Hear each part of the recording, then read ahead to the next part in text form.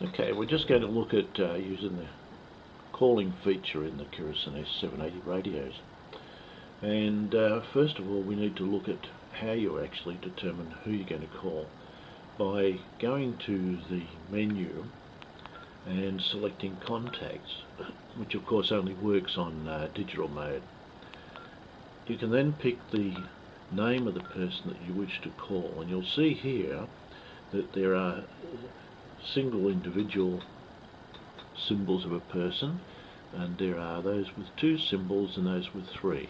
These represent calls to individual people, calls to a group or calls to all people. Now let's just say that you normally want to call up uh, Howard.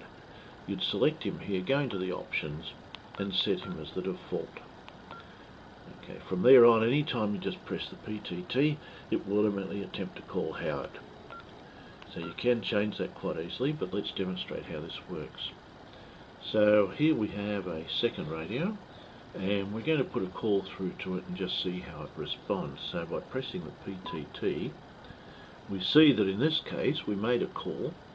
The second radio indicated uh, that it received something, but in actual fact no call occurred. And that's because the second radio is not the one owned by Howard. So let's now change the menu option here and we'll go to another contact. And this time we'll select Bjorn out of default. Okay. Now if we make a call from the first radio, we'll see that the second radio responds and it says Howard's calling and the first radio shows Jordan's making the call. And you can see there that there's the symbol for a single call and you can see the arrow indicates the direction of the call. Now when Howard releases his PTT, Bjorn has four seconds to reply. If he replies, he'll automatically reconnect to Howard. You can see by the arrows there that that call's completed. If the four seconds elapses, and that's settable in the uh, menu for the in the sorry in the programming of the radio, um, would have to actually select Howard from the contacts to call him back.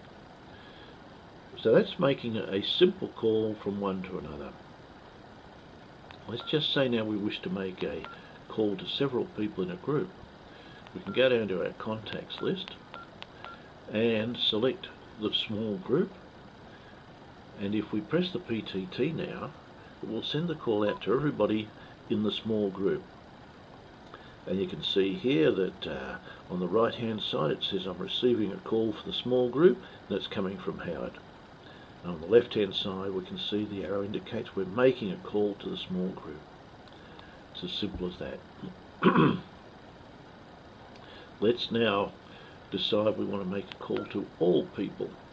So we'll select them from the contacts, press the PTT, and you'll see similarly we've got an indication on the right hand side there that it's to all and it's from Howard and that makes it pretty clear what's happening. Again, we've got the four seconds to reply. Oops, daisy.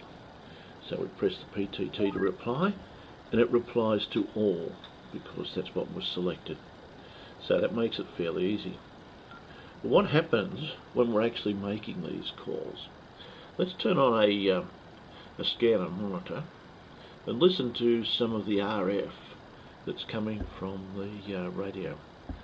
So in the first radio, let's go and select Howard again, because we know that the radio on the right is not Howard.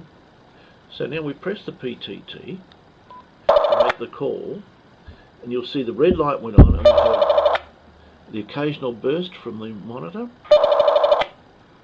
and we get an indication that the second radio is receiving something, and now we see no answer as shown on the calling radio. So what actually happens is the calling radio puts out a burst of data and it's looking for a response from the radio it's trying to call. If it doesn't get that response, it gives up the call. If it does, the call proceeds. So even though the red light for transmit is on all the time, it's actually only sending a burst now and then while that's actually happening. Let's look at another interesting thing here. We'll move out of the simplex area. Let's go now to a channel that's encrypted. Now, of course, we don't normally use this because it's it's not lawful under our license, but just for purely demonstration purpose, we'll show what happens. we've set the default for a calling already on this one, but I should point out that the default for your calls is based upon the channel. So if I'd selected a um, if I'd selected a um, person to call on channel 2 say and select a different default person on channel 1 then when I select the channel we'll go back to that. Okay we're in a secure mode so we're in encrypted mode. I press the PTT and you'll see that in addition to the information that we had before both of these now have a little key symbol indicating it's a, uh, an encrypted transmission in every other respect uh, the calling of another radio is the same if, on the other hand, we decide that we want to call a uh, person other than Bjorn in this case, we'll go down and we'll say, let's select Howard again, and we'll make him the default. Make it a little bit easier. And he's saved. Now when we make the call on this channel, we'll see that as before, nothing occurs on the other radio.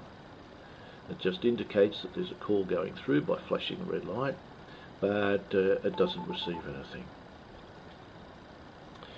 Now, let's also listen to a secure communication. So the radio on the right is in clear, the radio on the left is in secure mode. We'll press the PTT. Oh, well, we'll actually also select Bjorn as our contact. So we press our PTT. We now make a call. It shows on the right it's receiving one from Howard, but it's not getting anything, and that's because it's encrypted. So there's no information coming through. Let's put the second radio onto the analog mode. You can actually hear the encrypted call. My apologies, you can't. We'll have to turn on the scanner to hear it. And you'll hear it's quite interesting uh, how it sounds. Okay, we've got the the uh, scanner on, so let's listen to the encrypted call being made.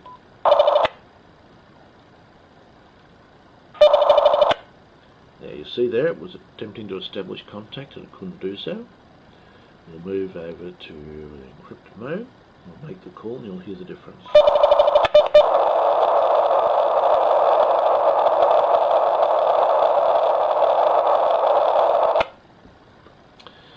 That's basically uh, the calling system. Now the other thing you need to be aware of, excuse me, is that when you're programming the radio, the identity of the radio is linked to one of the contacts. It doesn't have to be, but normally would be. So when you set up your uh, software, you'll actually give the radio an ID, and if that radio ID is the same as a contact, then uh, he will be basically the owner of that radio. You could use an ID that's not for any contact, but then I'm not sure how you would call that radio. So radios are in fact locked to individuals, and the calling system means that those that aren't being called will not hear the transmission. There's no mode on these radios to be able to monitor all transmissions. You can only monitor a transmission that's directed to you, to your group, or to everybody. Well, that's about it, and uh, we'll look at doing some other videos and other features later. Thank you.